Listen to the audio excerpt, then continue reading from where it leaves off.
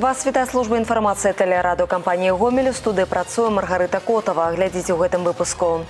Пытанні і адказы старшыня блвыканкама Геннад Салавей сёння сустрэўся са студэнтамі і супрацоўнікамі ГДУ мя Францыска Скарыны. Не здаваць пазіцыі у гомелі падвялі вынікі эканамічнага развіцця ў мінулым годзе. Форум талентаў у абласным цэнтры адбыўся маладзёжны фестываль зімовая вясёлка. А зараз аб гэтым іншым больш падрабязна. Старшыня былваканкама сёння сустрэўся са студэнтамі і супрацоўнікамі гомельскага дзяржаўнага універсітэта імя францыска скарыны. Па словах геннадзя салаўя такія сустрэчы дапамагаюць падтрымліваць прамую сувязь паміж органамі ўлады і насельніцтвам.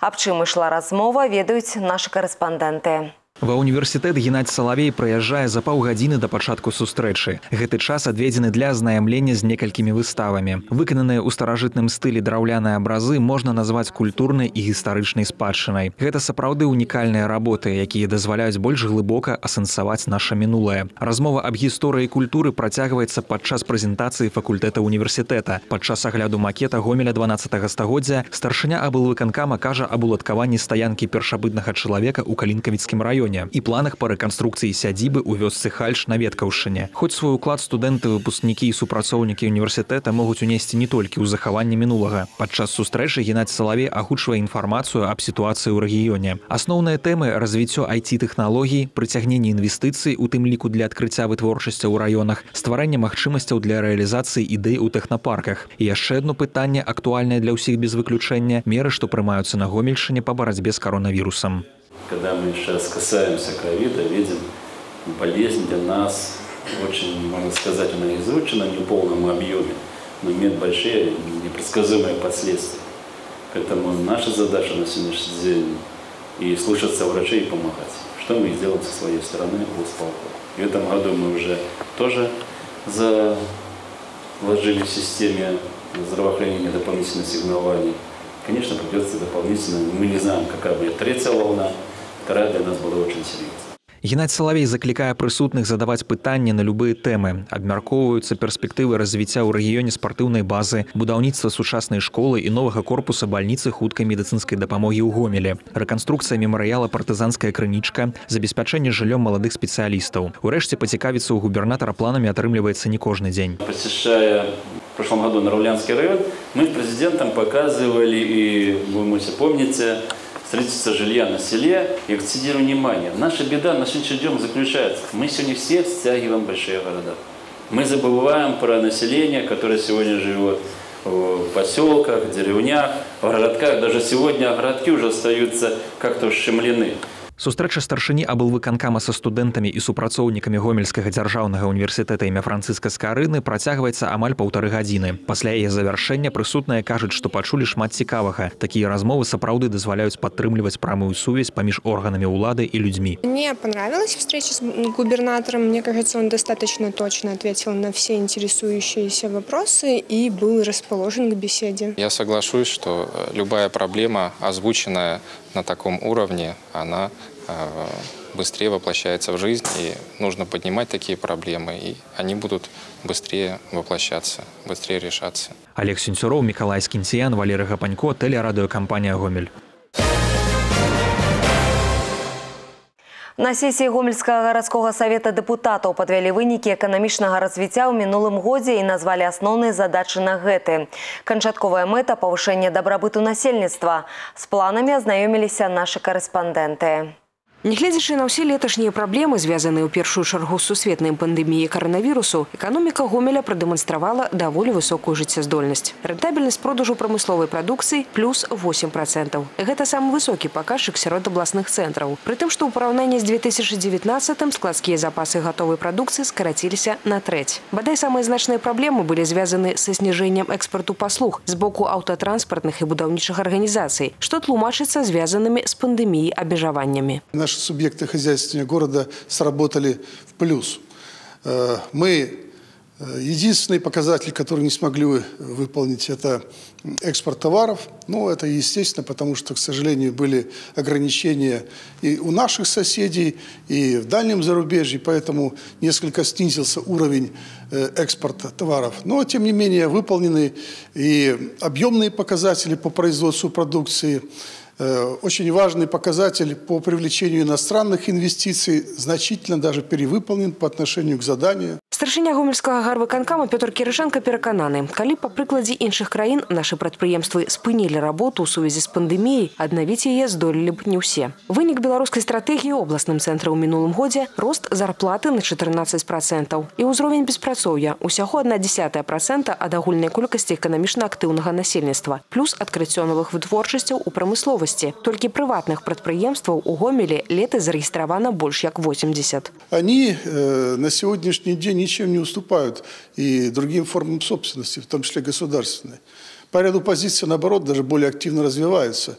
Вот, э, может быть, такой универсальный показатель – вклад субъектов хозяйствования от, э, от каких-то форм собственности, формирование бюджета. Так вот, э, на сегодняшний день, по итогам 2020 года, вклад частного, среднего, малого предпринимательства э, формирование бюджета города составил 27%. Дасягнутыя летась станоўчыя паказчыкі ў эканоміцы дазваляюць сказаць, што запланаваны на гэты год рост прамысловай вытворчасці на 4 проценты рэальны паказчык. Урэшце, для дасягнення галоўнай задачы павышэння дабрабыту насельніцтва неабходна пастаянна развівацца. У планах горада мадэрнізацыя прадпрыемстваў з перспектывы выпуску больш канкурэнтаздольнай прадукцыі. Прытым, што і сёння гамельчанам ёсць што прапанаваць як на ўнутраным рынку, так и на знешнім. Основу, конечно же, составляют продукция наших промышленных гигантов. это волоемкие предприятия города, это сельскохозяйственные машины оборудование, это те же химические удобрения, это стекло листовое,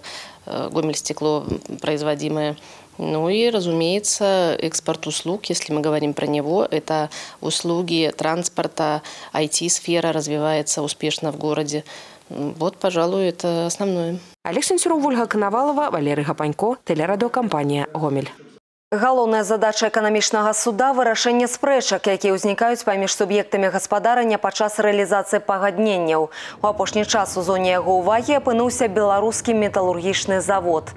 БМЗ адносіцца да буйнейшых прадпрыемстваў Беларусі. Разам з тым у апошні час ён сутыкнуўся з пэўнымі фінансавымі праблемамі, выкліканымі падзеннем дзелавой актыўнасці на сусветным рынку металапрадукцыі. Такая сітуацыя аказала негатыўны ўплыў на працэс разлікаў з партнёрамі за пастав пастаўлены металічны лом. Як вынік у суд звярнулася некалькі прадпрыемстваў, у першую чаргу расійскіх. Эканамічны суд гомельскай вобласці прызнаў факт наяўнасці даўгоў, але палічыў мэтазгодным прадаставіць БМЗ адтэрміноўку плацяжоў. Згодна з гаспадарчым працэсуальным кодэксам Рэспублікі Беларусь эканамічны суд мае такое права. Як сведчыць маніторынг сітуацыі на беларускім металургічным заводзе, прынятыя рашэнні дазволілі не толькі пачаць разлікі з крэдыторамі у адносінах адносінах да якіх выносіліся судовыя пастановы, але аказала станоўчы ўплыў на фінансавую сітуацыю на прадпрыемстве. Принимая во внимание то, что у нас взыскивается задолженность в валюте, взыскана была, как я повторяю, неустойка в валюте. Вот.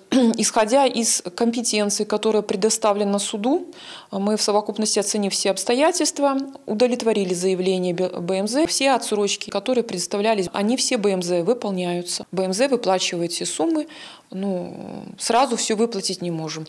Не представить отсрочку было бы, наверное, усугубить просто надо было бы положение БМЗ блокировка какой-то деятельности предприятия, наверное, бы она не создала лучших условий для взыскателя в том плане, что он бы быстрее свой долг не получил. К тому же предприятие, повторяю, оно у нас государственное, большое предприятие, и оно не уклоняется от уплаты долгов. Оно просто оказалось в сложном финансовом положении. Ну, вот по итогам 2020 года ну, уже улучшило финансовое положение, отчетность у него улучшилась, уже появилась прибыль, и это очень уже хорошо. У суботу 27 лютага жыхары рэгіёна змогуць адрасаваць свае пытанні прадстаўнікам мясцовай улады. У гомельскім аблваканкаме прамую лінію правядзе першы намеснік старшыні Ігар Часнок. Звярнуцца да яго можна па нумары 33 12 37. Звароты ад гамяльчан прыме намеснік старшыні Сергей Андрэяў. Тэлефон для сувязі 51 45 58. Час работы прамых ліній з 9 раніцы да поўдня. Сустрэчы гомельскіх дэлегатаў шостага ўсебеларускага народнага сходу з жыхарамі працягваюцца. Сёння рэктар гомельскага дзяржаўнага медыцынскага універсітэта Ігар Стома наведаў лядовы палац, дзе пагутараў з калектывам установы, а таксама з прадстаўнікамі хакейнага клуба Гомель. Работнікі спорту і аховы здароўя павінны супрацоўнічаць, каб папулярызаваць здаровы лад жыцця на ўсіх узроўнях, асабліва сярод дзяцей і моладзі. Такі тэзіс агучыў дэлегат падчас сустрэчы.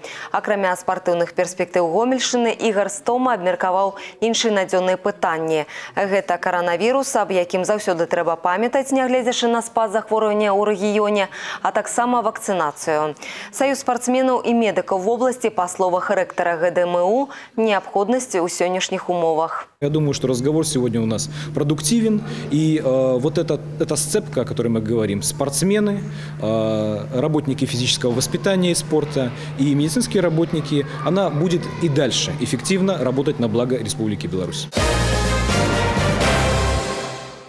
Да іншых тэм. Міліцыя ўстанавіла асобу чалавека, які ў лістападзе мінулага года абразіў у радыкальным тэлеграм-канале супрацоўніка светлагорскага раус.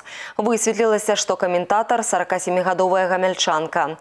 Жанчына пакінула абразлівае паведамленне пад фатаграфіяй міліцыянера. А зараз следчыя даюць прававую адзнаку інцыдэнту.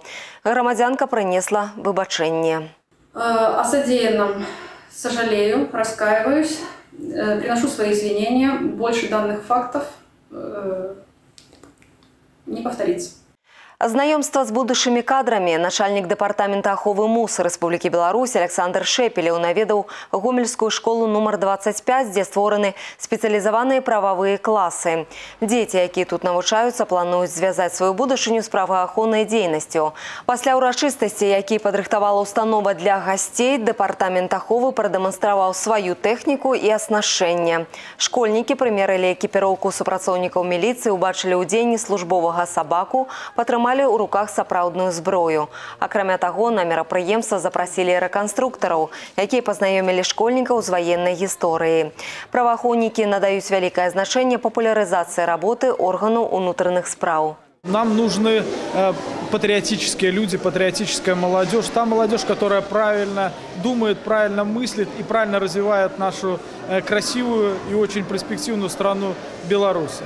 Поэтому мы э, создали профильные классы в данной школе. И э, эти, я очень горд за то, что эти профильные классы ежегодно прорастают. То есть мы когда-то начали с 30 э, учащихся, а сегодня уже 40% школы – это классы, те, которые занимаются вот именно департаментом охраны. Они участвуют во всех наших милицейских мероприятиях. Зімовая вясёлка зноў зазяла яркімі фарбамі, аб'ядноўваючы студэнцкую моладзь рэгіёна. На працягу тыдня праходзіў маштабны форум талентаў. Фінальная кропка была пастаўлена ў абласным грамадска-культурным цэнтры. Дмітрый Котаў з падрабязнасцямі. Зімовая вясёлка прайшла ў 23 раз. Аналагаў гэтаму форуму больш няма ні ў адным рэгіёне краіны. Фестываль аб'ядноўвае крэатыўную і энергічную моладзь з сямі ВНУ гомельшчыны. Зараз у якасці тэматычнага лейтматыву быў абраны дэвіз студэнты на арбіце. Гэта своеасаблівая маладзёжная трактоўка твору лявоніха на арбіце беларускага пісьменніка і драматурга Андрэя Макаёнка. Тэма актуальна і сёння, таму што як адзначылі ў БРСМ, моладзі заўсёды былі ўласцівыя вынаходніцтва, ініцыятыва і знаходлівасць. Распачаўся форум тыдзень таму з маладзёжнай спартыўнай эстафеты. Фінал адбыўся ў абласным грамадска-культурным цэнтры. У фае разгарнулася інтэрактыўная выстава. Кожны вуз падрыхтаваў сваю прэзентацыю. Напрыклад, у гомельскім медуніверсітэце яна была ў большасці прысвечана валанцёрскаму руху. Студэнты расказвалі, як дапамагаюць пацыентам з рэабілітацыі пасля COVID-19. В городе Гомеле, в различных больницах, мы были в больнице Э, в которых находятся пациенты с COVID-инфекцией. Ездим в разные города, э, в такие как Речица, мы были э, в Жлобине, мы были в Рогачеве, и сейчас планируется поездка в Могилев, тоже в стационары, в которых находятся пациенты с COVID для их реабилитации. Кожны з вузаў спрабаваў здзівіць і падыходзіў арыгінальна да сваёй прэзентацыі. Нехта акцэнт рабіў на навуковыя распрацоўкі, іншыя прыцягвалі ўвагу з дапамогай хатніх жывёл. Когда мы начали рассматривать варианты, которые мы можем предоставить, мы все-таки решили, что хотим разнообразить немножко выставку и решили взять с собой Машу. Маша обезьянка, Маше 8 лет, и Маше здесь нравится. Мы представляем а, университет имени Франциска Скорына и свой проект для стаи деятелей Беларуси. Это Сейсмосмарт. Сейсмосмарт – это портативная система раннего предупреждения о землетрясениях, способная сигнализировать о землетрясении за некоторое время до его начала. Далей на сцэне праходзіць канцэрт, падчас якога гледачам дэманструюцца лепшыя нумары па выніках конкурсу «Анука першакурснік». Кампетэнтнаму журы неабходна вызначыць самую творчую і арыгінальную каманду. Зрабіць гэта было не так і проста. Студэнты рэгіёна ў чарговы раз падкрэслілі, што яны яркія і таленавітыя, і перамогі па сутнасці заслугоўваў кожны калектыў. Молодежь наша замечательная, с ней просто нужно работать, с ней нужно говорить, с ней нужно обсуждать те проблемы, которые волнуют сегодня наше общество. Но то, что сегодня мы видим этот праздник, студенческий праздник, это хороший знак э, именно в год единства, когда наши студенты, наша молодежь вместе. Вот это самое главное. Кожная з ВНУ была адзначана ў асобнай намінацыі. Каманда гомельскага медуніверсітэта прызнана самай музычнай, а беларускага гандлёва-эканамічнага універсітэта спажывецкай кааперацыі самай гумарыстычнай. Самыя крэатыўныя студэнты ГДТУ імя Сухога, самыя артыстычныя гомельскага філіяла МІЦО. Лепш за ўсіх танцуюць студэнты ГДУ імя Францыска Скарыны. Мазырскі педагагічны універсітэт перамог у намінацыі імкнуцца шукаць тварыць. Беларускі дзяржаўны універсітэт транспарту адзначаны за лепшую лепшую рэжысёрскую праграму. Дмітрий Котаў, Сергей Камкоў, тэлерадыёкампанія Гомель. Любимая киноаматарамі зала «Мініон» адкрылася па новым адрасе. Цяпер яна размясцілася ў цэнтры Гомеля на другім паверсе кінотэатра імя Калініна. Пасля невялікага перапынку зала зноў адкрыла свае дзверы для гамяльчан. Новае памяшканне ў два разы перавышае памер ранейшага. «Мініон» атрымаў новы кінаэкран на метр шырэй старога. Зала забяспечана сучаснай акустычнай сістэмай, а лічбовы праектар бельгійскай фірмы размешчаны ў апаратнай малой залы, дазваляе абслугоўваць абслугоўваць дзве кіназалы адначасова. Гледачоў чакаюць 20 камфартабельных крэслаў, а таксама палепшаная сістэма кандыцыянавання і вентыляцыі. Мініон будзе прапаноўваць сямейныя і фестывальныя фільмы, стужкі дакументалістаў і тэатральныя праекты. Цэны білетаў вар'іруюцца ад 4 до 6 з паловай рублёў. Для групавых наведванняў ёсць скідкі. Таксама прадугледжана функцыя арэнды залы для прыватнага прагляду. Плануецца, што мініон стане месцам правядзення адукацыйных и дискуссийных мероприемствов. Мы получаем дополнительные возможности разнообразить наш репертуар. Больше такого, скажем, некоммерческого, наверное, или менее коммерческого, но от этого не менее интересного и высокохудожественного кино. Мюзиклы, спектакли на экране, но при этом все в самом лучшем современном качестве, с применением цифрового кинооборудования и, и с возможностью опять же, обратной какой-то связи. Поэтому мы очень будем рады, если у нас получится возобновить работу киноклуба, где мы, гомельчане, могут обсуждать какие-то фильмы. Таким чынам кінотэатр імя Калініна пацвердзіў пазіцыі вядучага аб'екта кінасеткі Гомельшчыны, стаўшы першым у вобласці лічбавым трохзальнікам. У гонар дня абаронцы айчыны гомельская абласная арганізацыя Беларусі разам з абласной федэрацыяй міні-футболу ладзілі для падлеткаў футбольны турнір. Паядынкі праходзілі на поле крытага манежа стадыёна прамень. За ўзнагароды змагаліся каманды гомельскіх школ. Беларусі абласная федэрацыя міні-футболу супрацоўнічаюць на працягу многіх гадоў. І турнір з нагоды дня абаронцы айчыны стаў чарговым вынікам гэтай сумеснай працы. Пандемия, все остальное, конечно, ребята засиделись. Тем более в рамках Дня защитника Отечества. Как вот не собраться бы ребятам и не продемонстрировать свое мужество, стойкость, терпение и волю к победе вот в таком турнире. И тем более у нас появилась такая возможность попробовать себя именно в новом футбольном манеже. Пераможцаў і прызёраў узнагародзілі медалямі і салодкімі падарункамі. Гэты іншыя навіны інфармацыю о праектах тэлерадыокампаніі Гомель вы можете знайсці на нашым сайце ў інтэрнэце па адрасе www.tvrgomель.бай. На гэтым выпуск завершаны. Усяго добрага і да сустрэчы ў эфіры.